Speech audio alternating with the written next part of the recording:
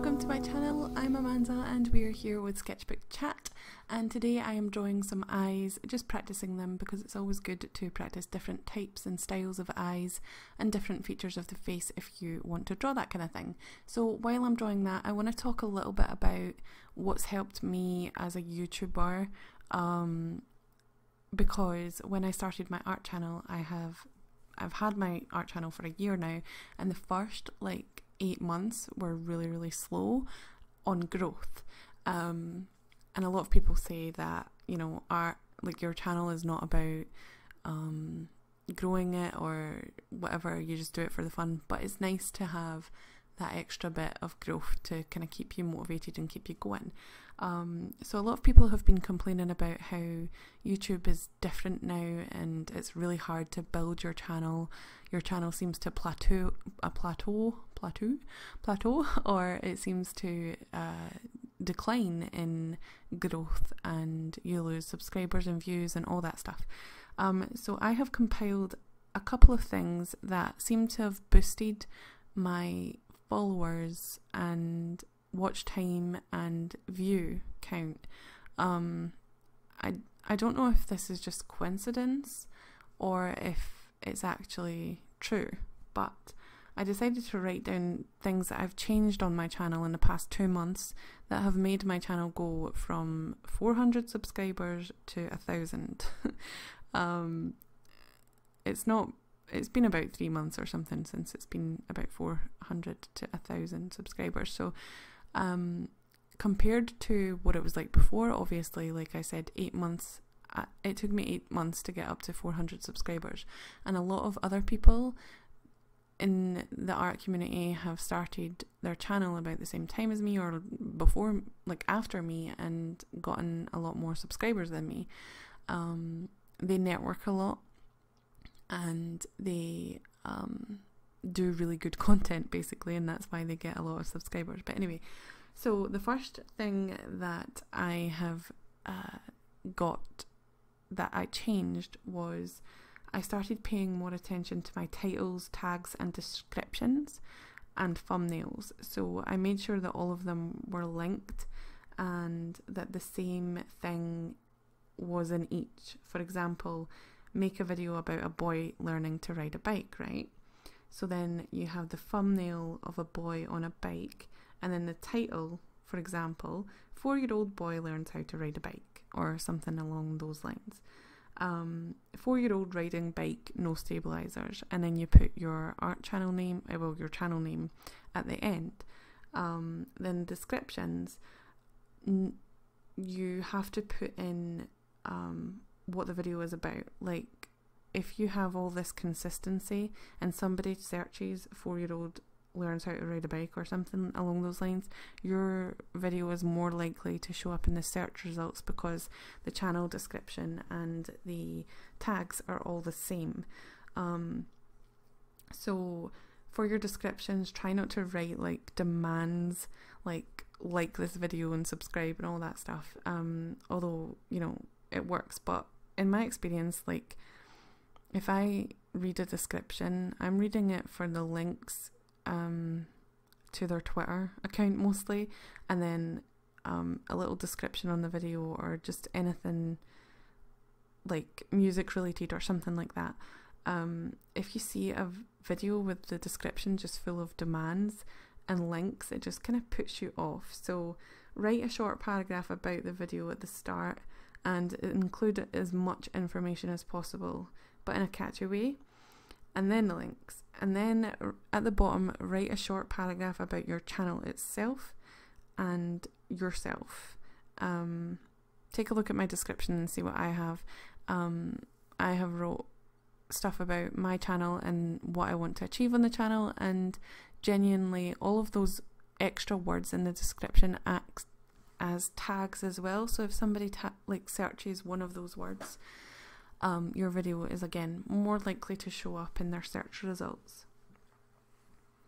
Uh, take this all with a grain of salt, by the way. It might not work for you, but like I said, I changed my way of YouTube two months ago and it seems to work a lot better. My thumbnails kind of slack a little bit just because I'm lazy, but um, everything else I try and keep on top of and end slates are important as well. If you use the new system that they have on it where you can click the video that plays 20 seconds at the end those are really handy just to put in um, extra videos to watch or videos relating to that video or channel. That's good as well. So the tags make sure that they match up and um, because if they don't then it does, like I say, stop people from finding your video in the searches. Um, and if your video is tagged with something like, say, you are a art YouTuber and you've tagged Bailey J in the description, and then somebody sees your video because of the search results, like they've clicked most recent or something, and it comes up, and then they click on it because they're like, oh, this video might have Bailey J in it, and it turns out it's not, then people are not going to want to subscribe to your channel because that's you lying about what's in your video. It needs to have this, the right things in the video, basically. I hope this is making sense. If you have any questions, write down in the comments below. Um, so you would want your tags to be like four year old boy learns to ride bike, no training wheels, stabilizers, teaching, uh, your art channel, uh, your channel name obviously. It might not be art, but you know what I mean. Um, family, vlogs, daily vloggers, vlogging, lifestyle, kids, mm. and so on. Um, so that's my uh, two cents about that. The next thing that I want to talk about is paying attention to your analytics. And I don't mean like your subscribers or your views or whatever. Just take note of um, videos watched in the last 48 hours and stuff like that. So download, I highly suggest if you can, download the Studio app because it breaks it down into subcategories and sections. It doesn't have all these bars and graphs, it just has little numbers and percentages, which is much easier to understand than all these little bar graphs and like subcategories and all this stuff. So I recommend you download that and then go to analytics analytics and like I said take note of your last uh, 24 hour videos watched. Um, no matter no matter how little the views are, um, like are older videos still being watched? And then ask yourself why. Is it because that product that you're reviewing is um, really popular just now? Is it because people are curious about it?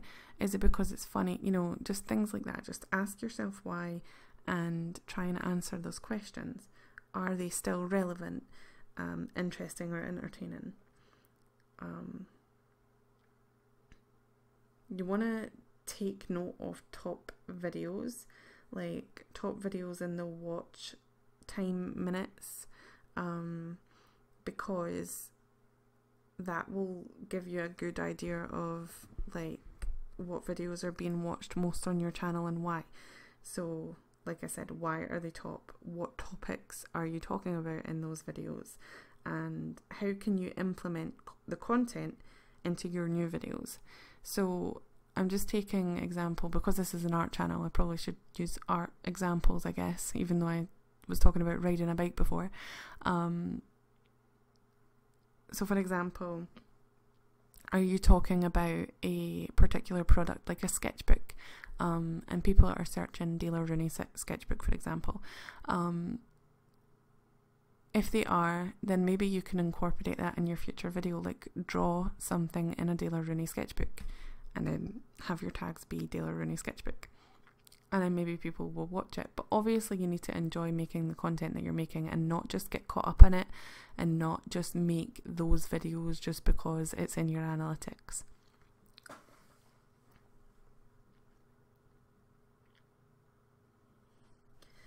Also another thing to think about is are these topics trending? Because sometimes you might have done a video like ages ago like a colouring book video for example like an adult colouring book video. And then all of a sudden they are trending. Like this happened to me months ago actually. Um, one of my first videos on my channel was a colouring book video. And then um, months and months later the trend kicked in. So I was getting a lot of searches from that one video and a lot of views on that one video, and I was like, why? and it was because the trend and the craze had set in. So I was before the craze, but then the craze happened, and then my video got more, more views, but not as much views as a newer video would have got. My channel was made for art and sharing my art journey, but I was positive that my channel would grow a lot more if I made colour book videos and um, I didn't want to just make these videos so that I had views. I wanted to make the videos because I enjoyed colour books anyway. I was doing them in my house on the dining room table. So I thought, why not film this and get community involved so people are watching my videos and then um, we can all talk about colour books. So um, as long as I enjoy colour books, I will make more videos about colour books and people will still be searching colour books because it's a very hot topic right now. And then the next thing I want to talk about is the Discovery tab. So uh, you go to Discovery tab, external sources, and then it'd be how are your videos being found. Um, so is Twitter a low percentage? But it's there. Share more on Twitter. Like, I share my videos mainly at night time and I forget to do it in the morning. And sometimes people in the morning will not be on YouTube, uh, on Twitter at night, so they won't be able to see the, you know, the tweet. So try and do it at least two times a day, morning and night, maybe once in the afternoon. Um, but share your video the next day as well. Um, if you see a lot of you bigger YouTubers, they'll share their video like until they bring an, another video out, and then they'll share it even more.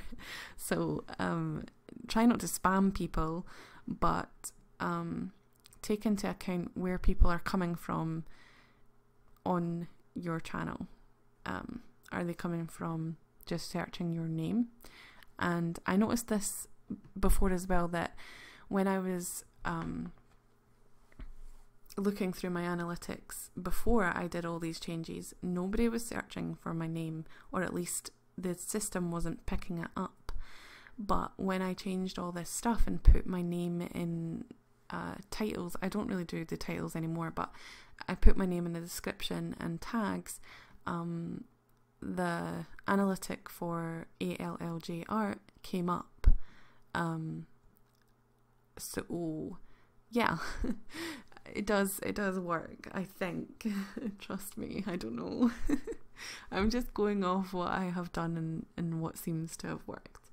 And then my next and most important thing and i probably should have said this first but the biggest thing that has helped me is looking at my the biggest thing that has helped me is looking at my top searched terms in the last 28 days or the last seven days or whatever you set it as.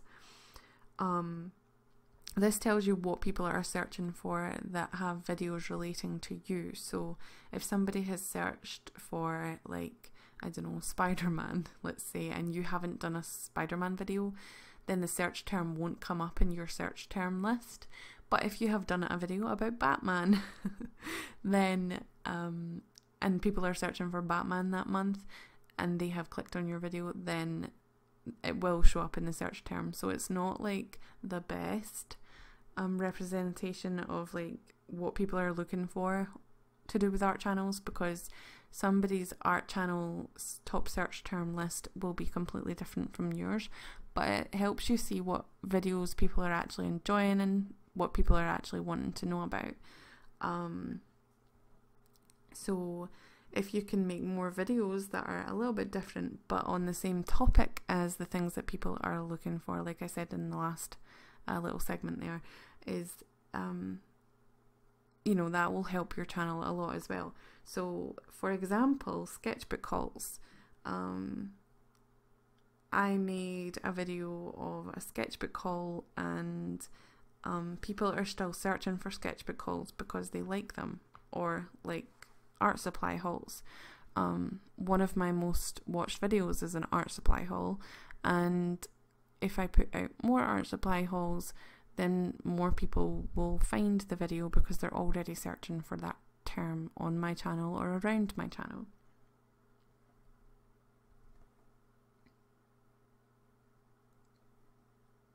So if you have bought more sketchbooks recently, then make a video about it. Sometimes we forget to do these things. Like I have a ton of sketchbooks that I've bought in the past and I've just put them on my shelf or I have just uh, opened them up and started using them right away. I should have done a, a sketchbook haul for that. Plus I love watching those videos and making those videos. Anyway, I'm going to look at my um, analytics for a second just to just give you a little idea about um, the things that have helped me and stuff. So if you go onto your analytics and go to, and obviously because I'm filming a video, um, and I need it to load, it won't. It just, it just won't load. Oh my god. Okay, please. If it doesn't load, guys, close all of your applications and then go back in and it should reload itself. the reason it's not loading though is because my Wi-Fi is miles away. Anyway, so uh, if I go on to the dashboard, it'll come up with analytics right at the top and it'll give you an overview of that. But if you click that and go to discovery, and then scroll down to top videos suggesting your content, that's a good one, or top YouTube search terms, that's what I want. So the top YouTube search terms I've had between the 22nd of June and the 19th of July is Scrawlrbox and ALLJ art. Um, so uh, Scrawlrbox is like 23% and then ALLJ art is 2.6% but it's still there, right? So if I change it to the last seven days, it's 19% Scrawlrbox and 9% Cullen colouring book tutorials.